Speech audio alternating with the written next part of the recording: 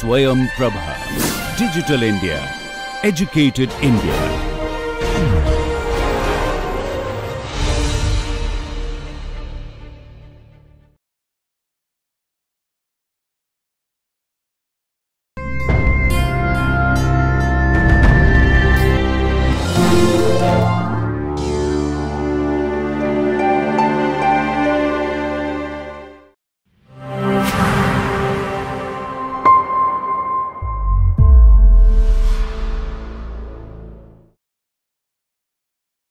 So, welcome back to the second part of the 18th lecture of spatial statistics and spatial econometrics. And in this lecture, uh, you know, we will be discussing causal inference in spatial regression models. And when I speak of causal inference, I am specifically referring to the assumption 2 of the linear regression model that we covered in lecture 16. So, very quick uh, recap for your benefit, you know, uh, the linear, linear regression model, a simple linear regression model looks like the following. It's yi equals beta 1 plus beta 2 xi plus ui, right. Assumption 2 states that uh, expectation ui given xi is equal to 0.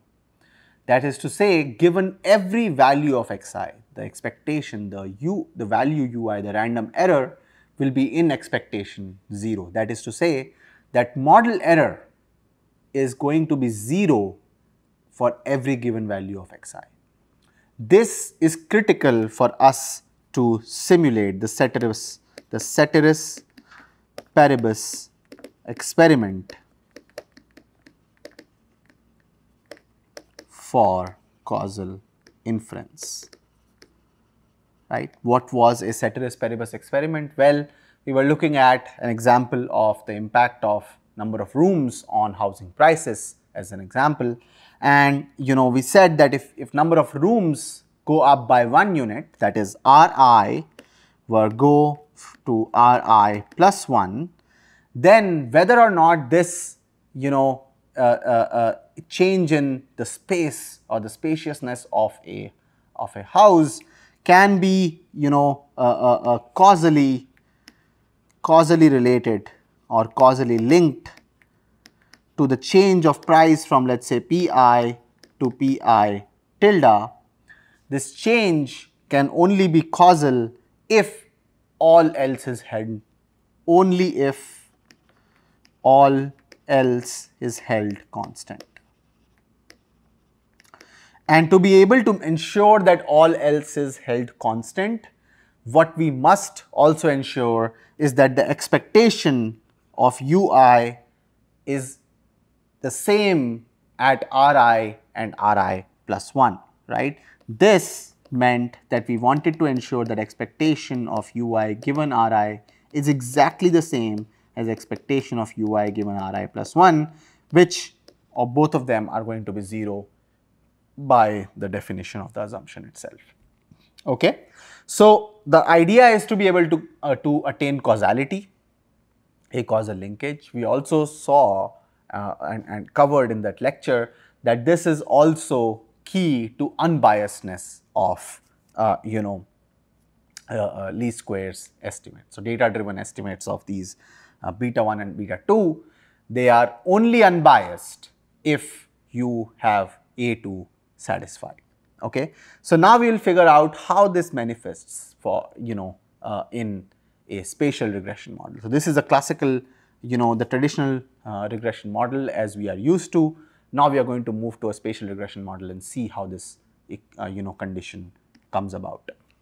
So, in order to see that we are going to study a seminal paper by Charles Manski who is uh, Charles Manski who is a uh, you know uh, uh, an economist um, who wrote a seminal paper on identifying the endogenous spatial uh, you know effects and he called this problem a reflection problem. This reflection problem as stated by Manski uh, relates very closely with the endogeneity of spatial effects or the unidentifiability of the spatial effects. So, let us you know define these effects, let us go over Manski's definition and then adapt it, then we will adapt it to the spatial regression models. So Manski defines endogenous spatial effects as the propensity of an individual to behave in some ways uh, co-varies with the prevalence of the of that behavior in some reference group containing the individual. Now that's a very heavy sort of a statement. What it really is saying is that an individual, the way an individual behaves or the decisions that an individual takes, if it co-varies or it you know correlates with you know uh, uh, the behavior or the decisions of a group in the population that we are working with, right? So, an individual's behavior is somehow mirroring the behavior of a group. Then what happens is that we are not able to understand whether the group is impacting the individual behavior or simply reflecting it, right? So, this is the core reflection problem, wherein if I am trying to understand the behavior of an individual and I find that behavior to be similar to other individuals in some reference group, then we do not know who caused that behavior. Is the group causing that individual to imitate that behavior or it is simply a reflection of the way the individual is performing or behaving in a population. Okay. What is this reference group? Well, the reference group first of all is within a population of interest. So, we are looking at population, we are trying to understand population dynamics, we are, we are, we are searching for a reference group. It could be a socio-economic identity, a family background or even an economic class. It's a strata, a group within a population where people behave in similar, uh, you know, uh, with similar traits in terms of their consumption patterns, in, in terms of their occupational patterns, in terms of their uh, you know uh, day to day everyday living uh, you know choices. Okay? Now that's that is what you know an endogenous social effect is where you know an individual's behavior there's a propensity of that being reflected in a group's behavior and vice versa. Now endogenous social effects are also called as now these these social effects the endogenous social effects have been very popular in sociology, in social psychology, and now also in economics. You know, Manski wrote this paper in 1993. So, you know, economists were grappling with, with, with social effects uh, for quite some time, and we will see how. So, the point is that the terminology with which endogenous social effects appear in different literature is, is quite varied and it has many names. Those names are social norms. So, sometimes you know there are these social norms or peer influences that people are impacted by their peer group, right. Neighborhood effect, something that we have seen with housing prices. Conformity, imitation, contagion, bandwagons, herd behavior. All of them are referring to the fact that people are behaving as herds. You know, everybody tends to converge with the same ideas, same, uh, same decisions and so on and so forth, right? So there is a tendency to conform to a social group, right? It's hard to defect from, you know, what everybody else may be doing in a particular social group, and an ethnic group or a socio, uh, you know, uh, uh, economic group or so, or family background, you know, it drives a lot of how people make decisions in the real world. Then there are things like interdependent preferences, right? As economists, you know, uh, we, are, we, are, uh, we study these devices called preferences, which are about how individual, you know, uh, uh would order or rank, uh, uh, you know, elements of their choice set. Now, if an individual is ordering or ranking elements of a choice set, a choice set can be consumption goods, it could be, they, it could have recreational parks, it could have anything. Uh, you know, uh, sports, uh, you know, which sports channel to watch and so on and so forth. You know, if my preference of how I order the sports channels that I, I, I like to watch is dependent on other individuals in my peer group, then that, you know, exhibits endogenous social uh, effects. So, as I have said, economists have been concerned about endogenous social effects that are mediated through markets. So typically, you know, when economists talk about endogenous social effects, they are talking about the, the effects that are generally mediated through markets.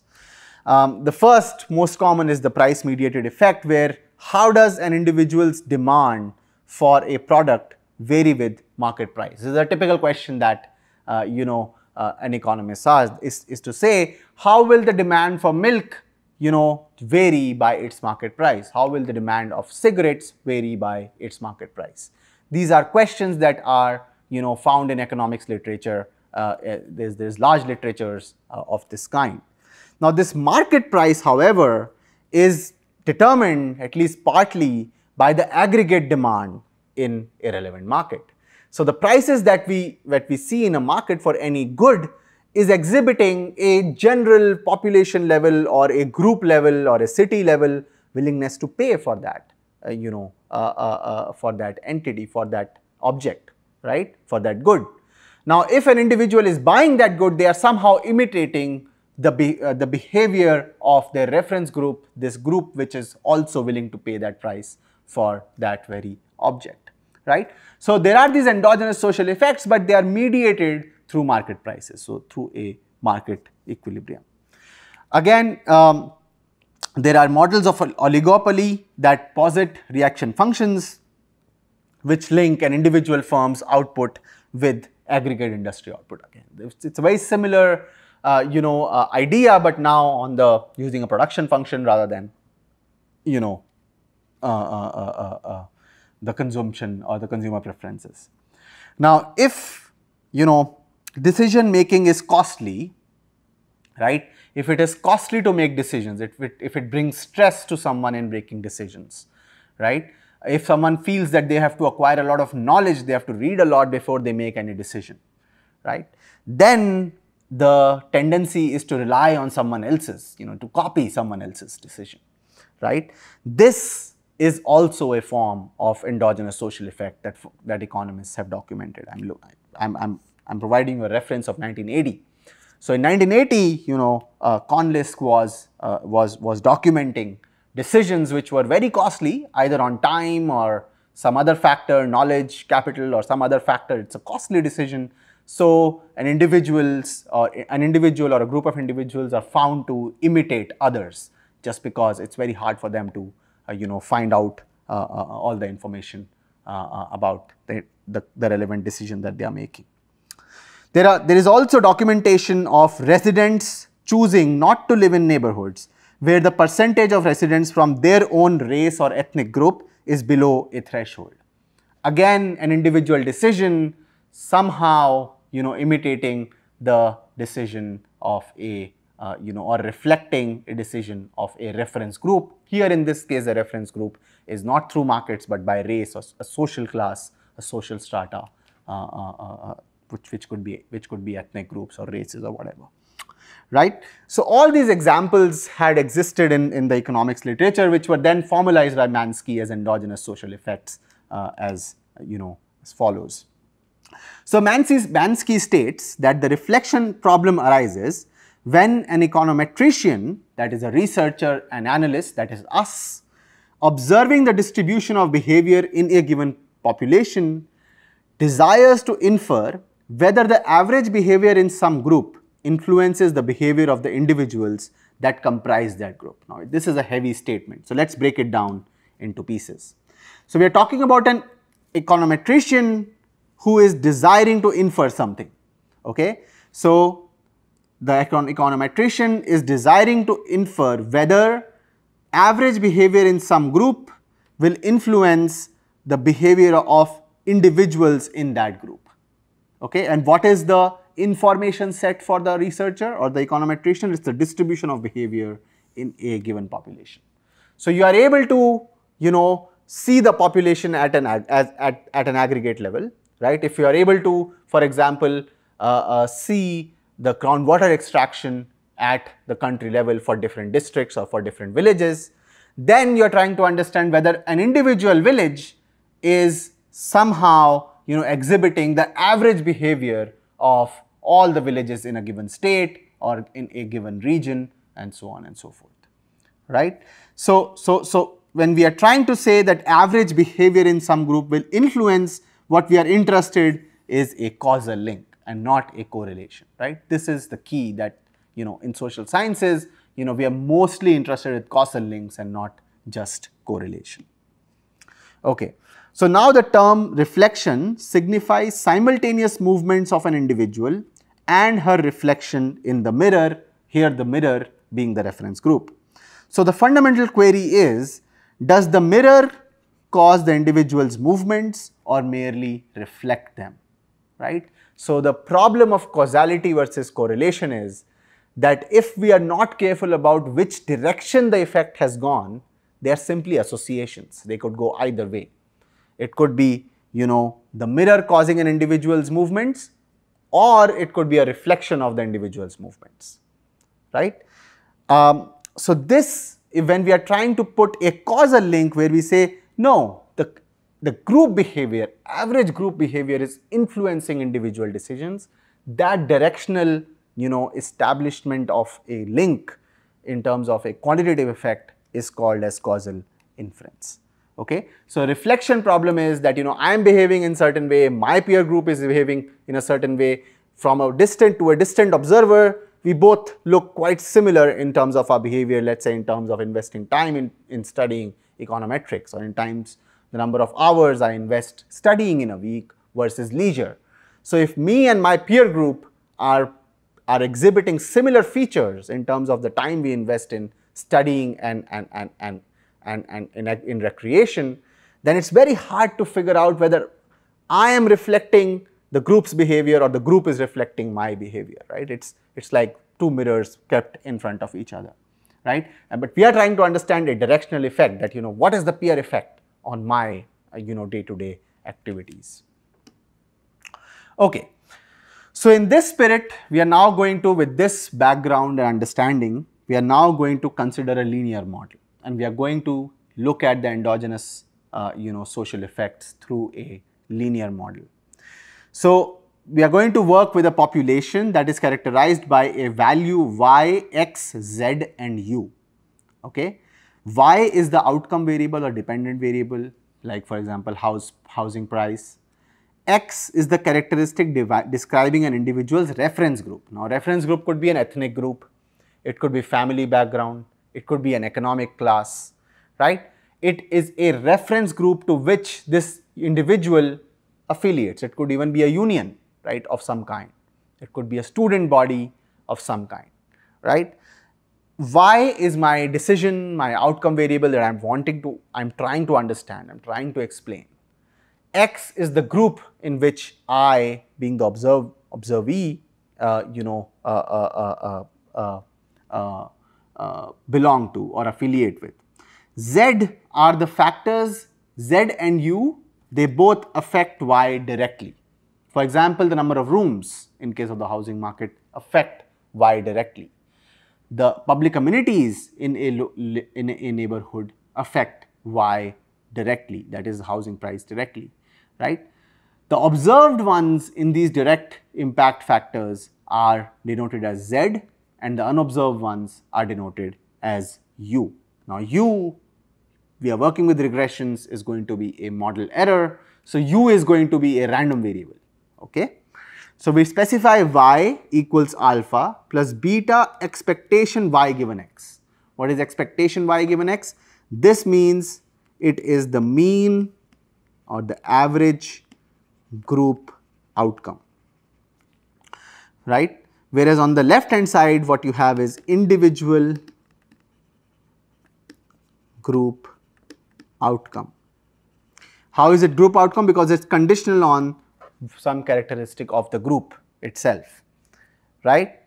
Then plus gamma expectation z given x this expectation z given x is the attribute, the average attribute or factor size for the group. That is, let us say in the housing price, if I am looking at a given, at a certain group which is let us say near the railway station, then I am going to see number of rooms, average number of rooms, you know, uh, uh, in, in homes or houses located near the railway station. If near the railway station is x, then that is what E z given x is. This is the mean of you know explanatory variable uh, uh, uh, uh, mean of explanatory variable z in the reference group. Okay? And eta z plus eta z. Now, eta is model parameter, z is the direct impact, that is number of rooms of that particular house that we are studying the price for. Okay.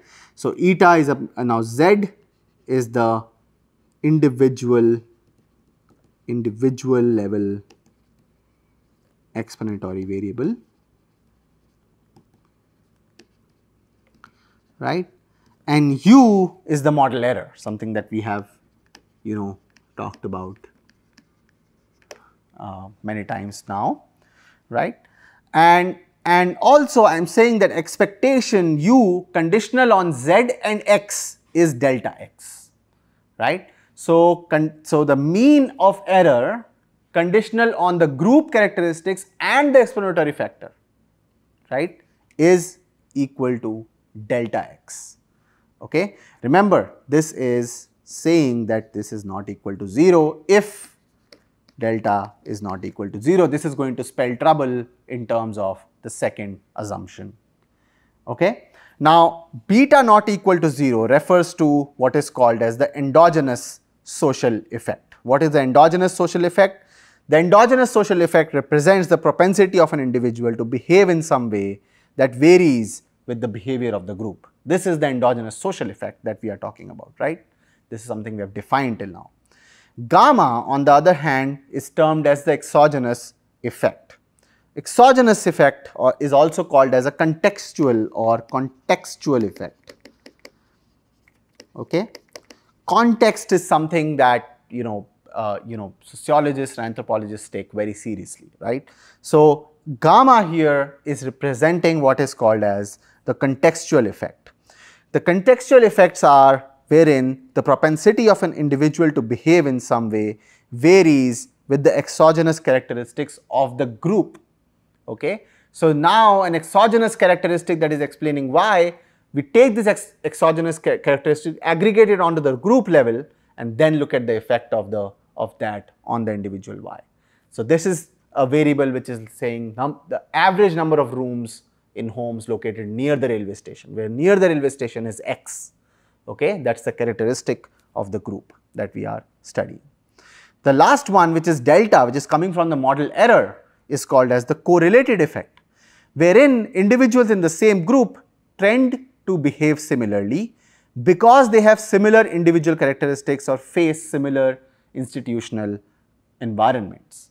Okay? So, this is a group level characteristics. Obviously, X is about groups and it is coming through expectation of U which is the error unobserved terms, but in mean or on average value, this is the effect, the, the propensity or the component that is causing you know, uh, uh, you know, equivalency or similarity in behavior between the individual and the group by the fact that individuals in the group are similar, right? They face similar institutional constraints and so on and so forth. Okay? Okay, so now as I said this condition that expectation u given z comma x is non-zero is where A2 is violated that is we no longer have causal inference, we merely have a correlation or an association. How do we establish this mathematically? So now let's look at the let's look at the model that we have y equals alpha plus beta expectation y given x plus gamma expectation z given x plus eta z plus u. One thing that I have not said till now alpha, beta, gamma, eta and delta are all model parameters. Okay. Then the mean regression of y on x and z, mean regression of y on x on z basically you know is talking about a situation where you have a plot, a scatter plot of y and x, right, and the regression line is expectation y given x, right. This is the regression line equation or regression line, okay. Now, instead of y given x, it is saying run this regression the mean of you know y conditional on x and z. So, now in the conditional statement I have two entities x and z and I will take this and I will run this expectation on both sides. So, I am going to take expectation on the left hand side, I am also going to take expectation on x, z and then expectation everything x z. Okay, that is what I am writing here. It's it's it's it's basically alpha plus beta expectation y given x plus gamma expectation z given x plus eta z plus delta x. Okay. Now, integrating both sides with z reveals what is called as a social equilibrium equation. z is the exogenous factor, right. If I integrate it out, all I am left with is the group characteristic x and the endogenous social effect. So, now I am going to relate these two and I am going to find expectation y given x. So, from here to here see that z has been integrated out. So, that means that I am basically you know uh, uh, uh, doing something like this. So, I have f of z dz on the domain of z. So, I have gone from this to this, I have integrated both sides in this fashion, I have integrated z out of this, uh, you know. I am going to have alpha over 1 minus beta. How did that happen? Because now if when I have integrated this out, I have expectation y given x here and expectation y given x here, I bring it here, I get 1 minus beta on the left hand side and I divide the whole thing by 1 by 1 minus beta. Okay. So, alpha over 1 minus beta plus gamma plus eta over 1 minus beta expectation z given x plus delta over 1 minus beta x, right. So, you can write you know 1 and 2, uh, I am sure that you will be able to figure it out. Okay.